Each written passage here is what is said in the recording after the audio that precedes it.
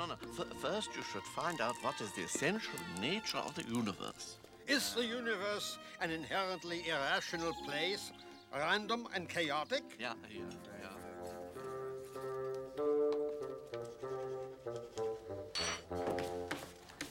Chipmunk, your spoon. Oh. Your spoon. It's on the floor. Oh. Are you ready to order? Uh, yes, I think the uh, the usual, please. No, I- I'll have a cup of coffee and a corn muffin, please. Ow. Darling, that is your usual. Oh. Well, I'll have that then. Okay. Thank you. Aha. What? It loses 11,000 molecules per square centimeter per second. What does? The comet. Now, which one of these do you like best? Is this a personality test? Mm, it's a sort of surprise. They're all the same. What? No, no. Look, that's aquamarine, that's blue-green, and that's algae. Well, you know, at the atomic level, there's no such thing as color. Though, they did do that study in Belgium that time. Wait, or was it Denmark? Babbling. Anyway, babbling. Anyway, the point was that. What was the point? Mm-hmm. oh, that since oh, Oi. protons are so much oh, Oi. smaller than light waves, Algae. Thank you. Since protons are so much smaller than light waves, how could they ever see it to begin with? Ah, oh, dames. Or is there a fundamental order underlying all things?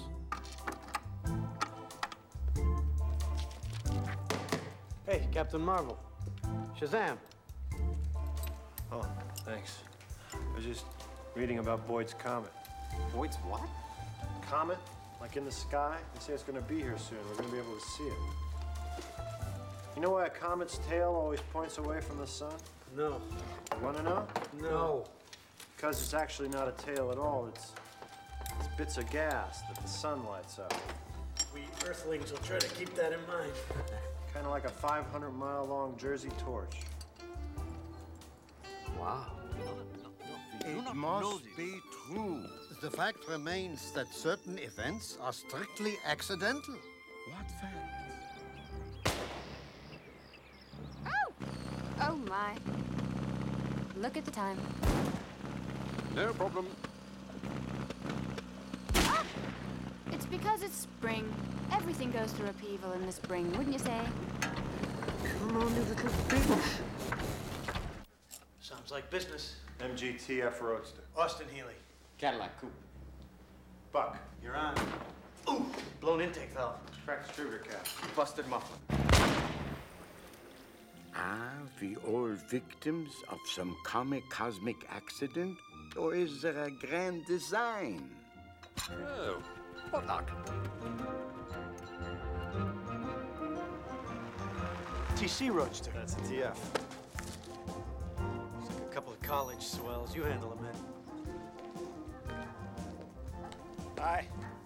What seems to be the problem? Um, no. Uh, do you have anyone here who knows how to deal with British automobiles? I, I really don't want anyone just poking around in there with a sharp stick. Would it be all right if I looked under the bonnet? Well, at least you call it a bonnet. Ah, so that's the engine, huh? Um, look, I think perhaps we ought to go somewhere else, do you? Intake valve, I'm telling you. Busted muffler. Intake. Busted muffler. That's your problem right there. What? You got no spark. What? You have no spark. Yes, I heard him, Catherine. So, I mean, um, what do you think it means? Is, is it the, the generator, the coil, or what? Well, it's, it's hard to say. You see, you have a Lucas Type 4 generator on a 12 volt system, and you know, the British, they'd rather spend time gluing wood on a dashboard than getting the electrical system right. Fascinating. But, but what is wrong with the car? Well, my guess is your, your, your stroke is too short and you're getting premature ignition. Does it ever feel that way? Like what? Like the stroke is too short and you're getting premature ignition? Well, I'm sure I don't know what you mean. Could you just fix it at least temporarily, do you think? I mean, we're really running behind schedule here. I'll check with my boss. Don't go away.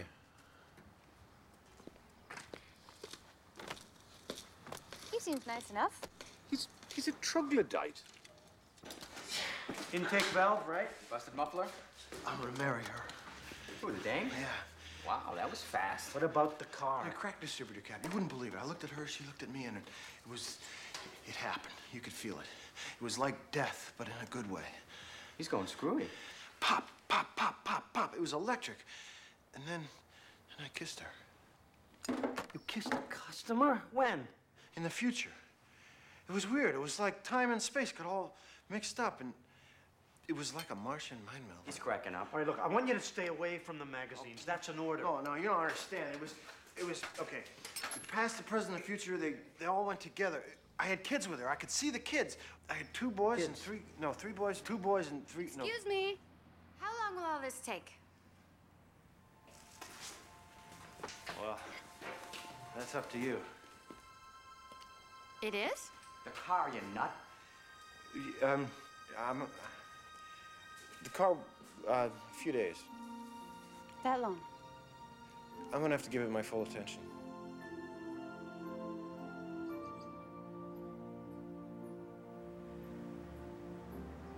Well, in that case, I better call a phone. Do you mind if I use your cab? There's a cab in the office. Yeah, but the uncertainty principle postulates a universe of chaos, where everything happens merely by chance.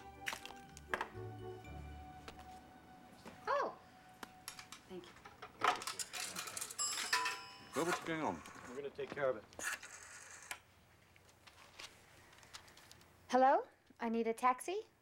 Uh, Catherine Boyd, B O Y D. What? Oh.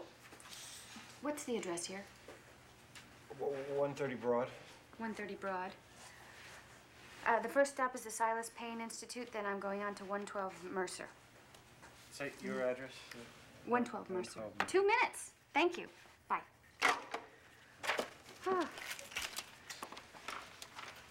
Oh. well, Yeah. it was Belgium. It was. What was? A study. Thank you. You're welcome. I don't want you to worry about it being a couple of days. Taxi will be here in two minutes. Oh, well done, darling. Meet him on the corner. Belgium. Well, thank you. Um, two days through the most. We'll call you. I, for one, will never believe that God plays dice with the universe. We're wasting